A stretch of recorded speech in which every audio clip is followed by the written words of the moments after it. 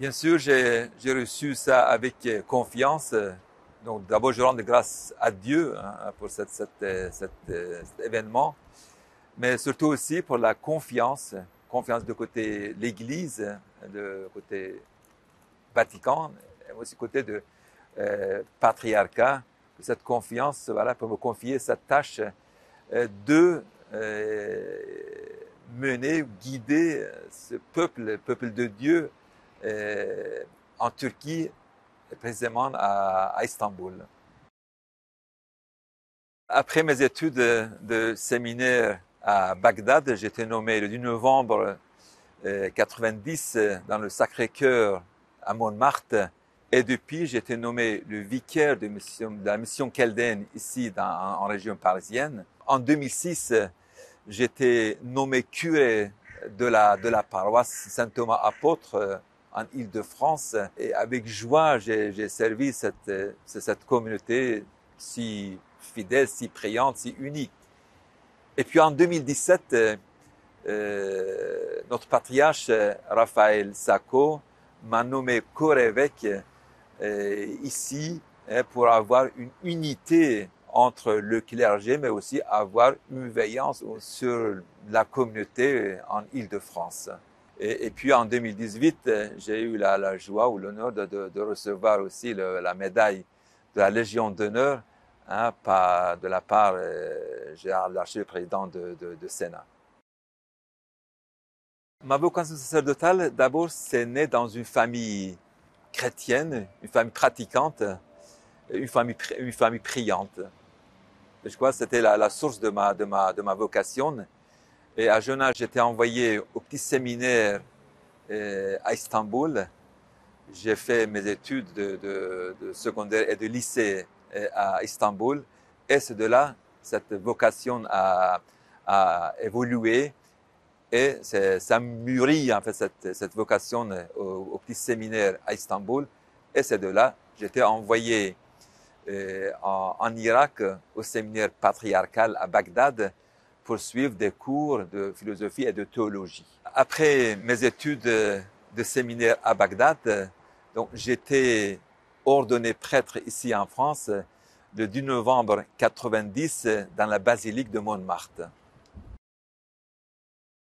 J'ai vécu des moments de joie. Premièrement, la joie d'avoir euh, accompagné cette, communauté dans son intégration, cette communauté, mais, aussi de vivre avec cette communauté si priante, si unie.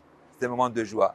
Et puis un autre point de joie aussi, c'était la joie de, de pouvoir construire cette église, hein, cette église, église Saint Thomas, Saint Thomas apôtre. Et puis par la suite, euh, dix ans après, euh, en 2000, 2016, notre église euh, à, à Saint-Jean, à Arnaudville. C'était deux moments forts et deux moments de joie aussi que j'ai vécu euh, dans ma vie comme prêtre accompagnateur de cette communauté. Et puis, bien sûr, les difficultés aussi, il y a toujours, surtout aussi pour accueillir les réfugiés hein, qui, Hein, qui viennent de, de, de, des pays, pays du Moyen-Orient, que ce soit l'Irak, que ce soit Syrie, hein, que ce soit, soit Turquie. Et donc, c'était aussi une peine, mais aussi de, pouvoir vivre, pratiquer hein, la foi dans, dans un pays comme la France, dans un pays laïque, avec toutes les difficultés qu'il y a. Ça aussi sont des, difficultés, malheureusement, hein, qui, qui étaient certains moments euh, assez lourds pour nous. Le rôle d'un évêque chaldéen, bien sûr, c'est comme le rôle de tous les évêques, qui est premièrement de guider, son troupeau, guider son peuple euh, dans des bons pâturages. Et deuxièmement, il y a aussi cette responsabilité euh, législative, euh, juridique, exécutive aussi qui tombe sur, sur l'épaule d'un évêque.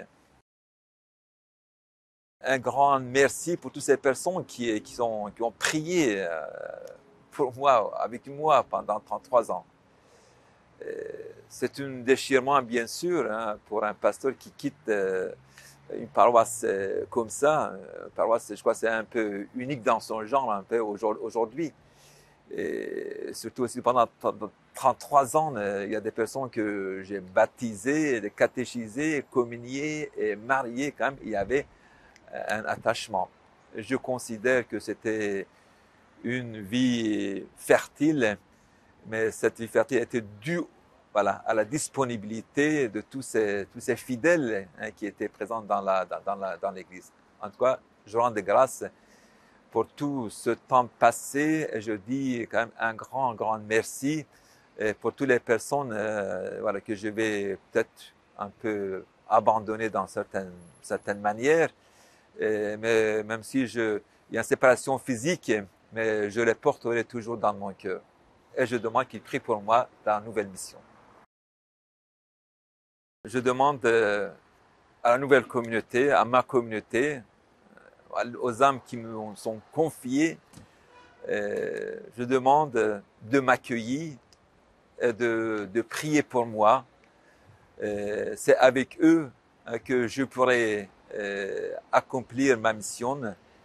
C'est avec eux, mais c'est aussi, voilà, pour eux, je, j'acceptais cette, cette charge pour, pour guider ce peuple, hein, guider le peuple de Dieu dans ce pays euh, immense. Euh, j'y vais euh, avec joie et avec confiance.